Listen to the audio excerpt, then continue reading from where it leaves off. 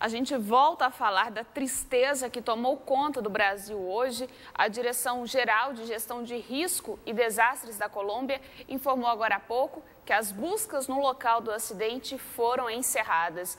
Como quatro passageiros não embarcaram no avião, o total de ocupantes oficial é de 77, sendo que seis sobreviveram à tragédia, 72 mortos já tiveram os corpos resgatados.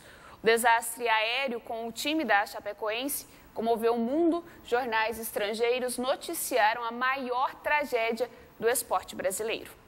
No Barcelona, os jogadores fizeram um minuto de silêncio. A equipe do Real Madrid também homenageou as vítimas. O jornal argentino Clarim registrou que a torre de comando perdeu contato com o avião a 50 quilômetros do aeroporto. O francês Le Monde relatou que as condições climáticas no momento do acidente eram péssimas, com fortes chuvas e ventos. Na Espanha, El País noticiou a mudança do voo horas antes do embarque. A CNN trouxe como destaque os sobreviventes. O britânico BBC replicou as palavras da nota oficial do time. Deus esteja com nossos atletas, funcionários, jornalistas e outros convidados que viajavam com a nossa delegação. The Guardian também noticiou o acidente.